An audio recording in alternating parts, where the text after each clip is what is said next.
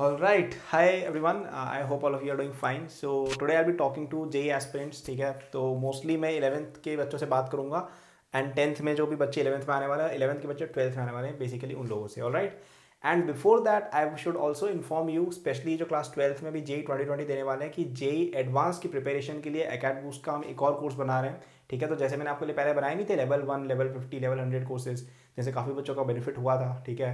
अभी भी यूज़ कर सकते हैं भाई उनको क्योंकि Main is now shifted to thirty first May मतलब एक इस तरह का आया था ना थर्टी फ़र्स्ट मे तक एटलीस्ट पोस्टपोन कर दिया गया था। आगे कितना होता है we don't know so I think कि आ, आपको जेई एडवांस आपको जेई मेन के लिए थर्टी फ़र्स्ट मे तक तो टाइम है ही है तो उसको तो बखूबी यूज़ करना ही करना है। एंड उसके बाद आपको शायद maybe two three week whatever who knows कितना टाइम एडवांस के लिए मिलेगा। तो एडवांस के लिए भी आपके पास अभी भी काफ़ी सारा टाइम है।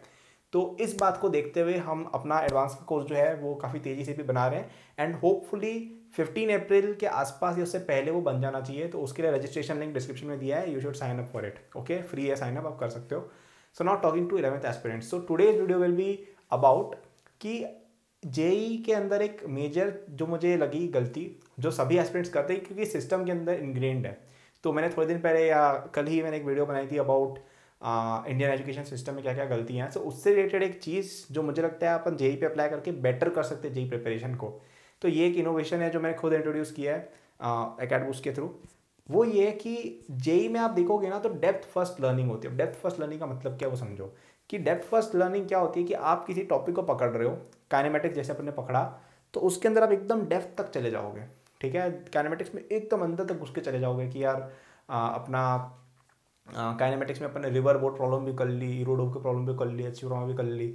इस तरह से लोगों का एक रहता है, ठीक है? या जैसे आप आर में देखो तो लोग पहले मोमेंट ऑफ़ में घुसेंगे।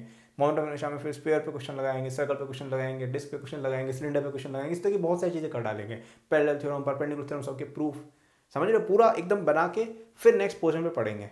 फिर इस तरह से एकदम, इस तरह का एक लर्निंग पैटर्न रहता है। अब इस लर्निंग पैटर्न में बहुत सारी मिस्टेक्स हैं, ठीक है? और ये लर्निंग पैटर्न ही हर जगह फॉलो होता है। आप किसी भी ऑनलाइन कोचिंग को देखो आप कहीं भी आ, किसी भी ऑफलाइन ऑनलाइन कहीं भी देखो सब लोग यही करते हैं क्योंकि यही चलता आ रहा है।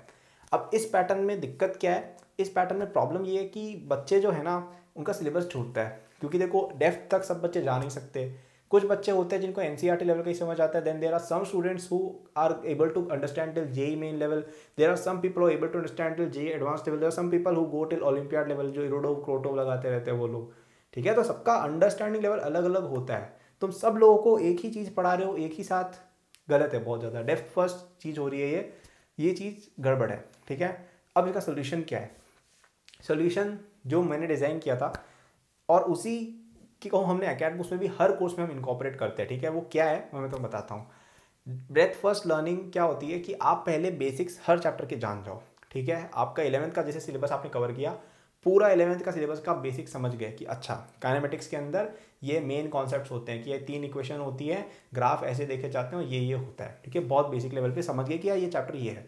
फिर हम आए नेक्स्ट चैप्टर पे एनएलएम पे। ठीक है? एनएलएम के हमने बेसिक समझे। पता चला कि अच्छा हाँ ये ये होता है। फिर हम आए नेक्स्ट चैप्टर पे मोमेंटम ये वर्क एनर्जी थ्योरम जो भी हो गया आपका। फिर मोमेंटम फिर रिजिड बॉडी डायनेमिक्स फिर फ्लूड वगैरह, इस तरह की चीज़ें। ऑल राइट इससे क्या हमें पूरे सिलेबस की एक ओवरऑल अंडरस्टैंडिंग दिमाग में बैठ गई। एंड वन मोर थिंग जिनसे इस चीज़ में बेनिफिट होता है ना, वो क्या है कि आप जैसे जैसे आगे बढ़ते हो ना अपनी लर्निंग में तो आपको, आप देखना कि जैसे आप आरबीडी पढ़ रहे हो तो आपको मोमेंटम क्लियर होता है। आपका जो एंथ चैप्टर है ना, वो आप जब पढ़ रहे होगे then you will be able to clear N minus one और N minus two chapters already एक होता है फिनोमिन क्योंकि आप आगे जैसे पढ़ते तो क्वेश्चन भी कॉम्प्लेक्स होते जाते हैं। तो अपन पहले बेसिक लेवल की चीज़ें पढ़ी, उसके बाद हमने कुछ प्रॉब्लम्स लगाई, उसके बाद हमने थोड़ा एडवांस लेवल पे प्रूफ्स वगैरह पढ़ने की कोशिश की, फिर एडवांस लेवल प्रॉब्लम सॉल्विंग की। आई थिंक ये एक बेटर लर्निंग का पैटर्न है, ठीक है? अब आप बोलोगे कि यार सब दुनिया तो अलग चल रही है, आप अलग क्यों चल रहे हो? तो ये मैंने टेस्ट भी किया है, ठीक है? मैं जब अकेडमिक्स के कोर्सेज बना रहा था ना तो मैंने कोर्सेज बनाए इस पैटर्न को लिखे थे। जैसे आपने देखा होगा कि लेवल फिफ्टी या ये सब जो कोर्सेज है, उनमें मतलब मैंने लेयरिंग कर रहा हूँ बेसिकली जैसे हमारा इलेवंथ का विजन कोर्स है ना it has basically got everything in very basic level कि हमने सारे कॉन्सेप्ट एक मोटे तौर पे बता दिए कि हाँ भाई, ये चीज़ें होती है, ये चीज़ें होती है, ये चीज़ें होती है। तो वो जिसने आधे घंटे में देख लिया, उसको एक बार दिमाग में क्लियर होता है कि इलेवंथ पूरा ये है। ऑल राइट उसके बाद आप जैसे आप लेवल हंड्रेड कोर्स लगा रहे हो तो उसमें क्या होता है कि आप फिर क्वेश्चन लगा रहे हो थोड़े से डिसेंट लेवल के मेन्स लेवल के और एडवांस को छूते हुए। एडवांस लेवल के भी नहीं, पर मेन से थोड़े से ऊपर एडवांस से थोड़े से नीचे। तो वो फिर आपकी अंडरस्टैंडिंग और बिल्ड करते हैं, ठीक है? फिर अभी हम जैसे नया कोर्स ला रहे हैं एडवांस का तो उसके साथ हम प्रॉब्लम सॉल्विंग चीज़ें भी इंक्लूड कर देंगे इलेवंथ वालों के लिए तो काफ़ी सारा कंटेंट आने वाले आप लोगों के लिए, चिंता मत करो। मतलब जेई प्रिपरेशन आपकी एकदम ट्रांसफॉर्म हो जाएगी, इतना मैं गारंटी ले रहा हूँ। तो उसमें फिर हमने और एडवांस प्रॉब्लम सॉल्विंग की तो ये एक बेटर पैटर्न ऑफ़ स्टडीज़ है, ठीक है?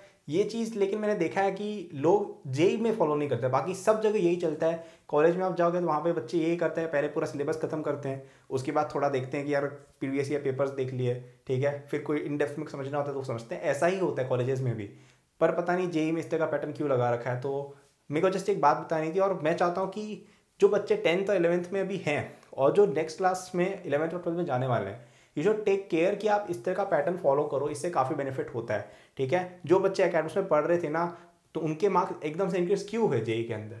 तो मेरे से बहुत क्योंकि उसमें हमने ये चीज़ फॉलो की कि यार पहले बेसिक्स तो क्लियर करो सारे, फिर अंदर घुसो, वरना लोग अंदर ही घुसे जाते हैं। फिर क्या होता है कि काइनेमेटिक्स तो पूरा पढ़ लिया, बाकी सब हिला बैठा है, बिल्कुल, ठीक है? तो ये चीज़ मुझे लगता है गड़बड़ है।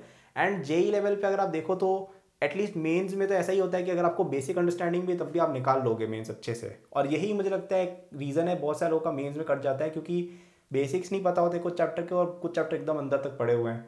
जबकि उनको चाहिए कि सब टॉपिक्स बेसिक बेसिक पढ़े हो। All right so this was just one thing which I noted कि यार ये एक गलती है जो ऑलमोस्ट सब एस्पिरेंट्स कर रहे हैं। ये मैं पर्सनली फॉलो नहीं करता था। मेरा पैटर्न हमेशा से ऐसा रहा है कि मैं पहले पूरा सिलेबस बेसिक लेवल पे कवर करता हूँ।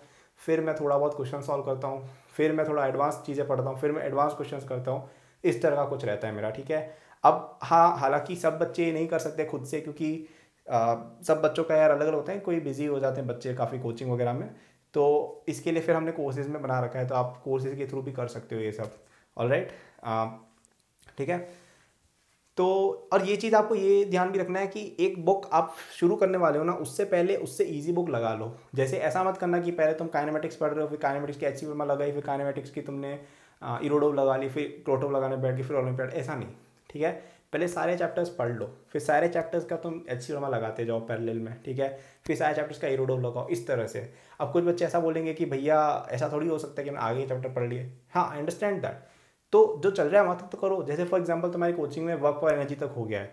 तो पहले तुम्हें जब जब टाइम मिले kinematics N L M work power energy तीनों का एच लगा दो, ठीक है? उसके बाद टाइम मिले तो तीनों का इरोडो लगा दो। ये एक बेटर बेटर स्टडी पैटर्न है, ठीक है? तो इसको बिल्कुल फॉलो करेंगे हम। ये कारगर है, ये प्रूवन है ऑल राइट सो या और जो बच्चे इलेवंथ में स्पेशली पढ़ रहे हो टेंथ में भी, तुम सब लोगों के लिए हम नए कोर्सेज लेके आ रहे हैं। उन सबका इलेवंथ वालों के लिए ऑलरेडी है इलेवंथ का जो रिवीजन कोर्स है वो ऑलरेडी है आपका डिस्क्रिप्शन में आप देख सकते हो, ठीक है? हम, वहाँ पे हमने बेसिक रिवीजन करा हुआ है ब्रेथ फ़र्स्ट तो जो बच्चे भी ट्वेल्थ में जा रहे हैं, तुम लोगों का अगर इलेवंथ अगर अच्छे से रिवाइज नहीं है और मोस्टली नहीं होगा तो मैं लग रहा होगा, उसको लेना बहुत मदद मिलेगी, काफ़ी बच्चों का अच्छा फीडबैक आया, ले सकते हो, ठीक है? उसकी हमने थ्री मंथ से लेकर वन ईयर तक की वैलिटी पूरी हमने अवेलेबल कराई है। इसके अलावा टेंथ वाले बच्चों के लिए भी हम एक कोर्स अभी बना रहे हैं, जिससे आपका इलेवेंथ टू ट्वेल्थ का जो गैप टेंथ टू इलेवेंथ का जो गैप होता है ना वो हमने कवर किया है ठीक है? मतलब बच्चों को दिक्कत होती है ना कि यार टेंथ टू इलेवंथ एकदम शिफ्ट होते हैं तो एकदम लेवल बढ़ जाता है। For dealing with that for dealing with exams like K P Y R M O या आपके इन general olympiads I J S O वगैरह उनके लिए हमने वो कोर्स बनाया सो so, उसको चेकआउट करना मत भूलना। फ्री साइन अप डिस्क्रिप्शन में है ठीक है? So I hope you like this video message ये था कि अंदर तक मत घुसो, पहले बेसिक्स कवर करो, हर चीज़, उसके बाद नेक्स्ट लेवल पे जाते जाओ ठीक है? This was just one thing which I wanted to say to all JEE aspirants all the best